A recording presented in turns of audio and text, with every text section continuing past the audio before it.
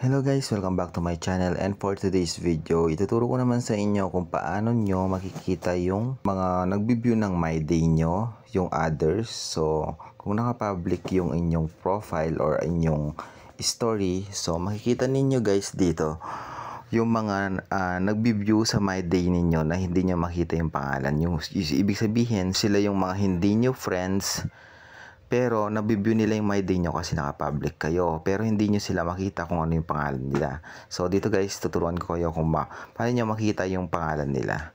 So, punta muna sa lahat, punta muna kayo dito sa Facebook page ni oh, sa Facebook account. Then pag open niyo dito sa Facebook account niyo, click niyo lang yung sa upper right corner sa may taas. So pag click niyo doon guys, click niyo yung inyong profile.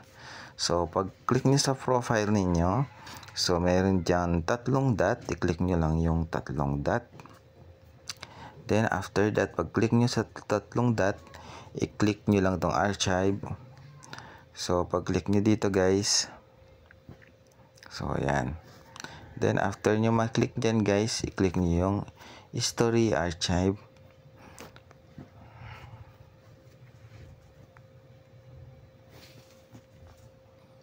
So, pag-click nyo sa History Archive, i-click nyo yung settings sa taas.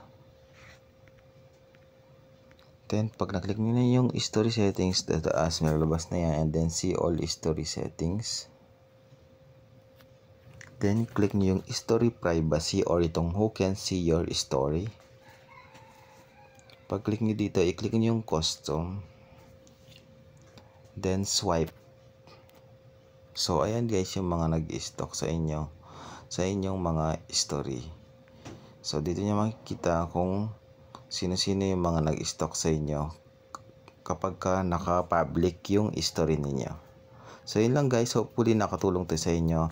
Don't forget to like and subscribe para updated kayo sa mga bagong video na ilalabas ko na iba't ibang tutorial kung, kung gusto nyo ng ganitong video. Maraming salamat po.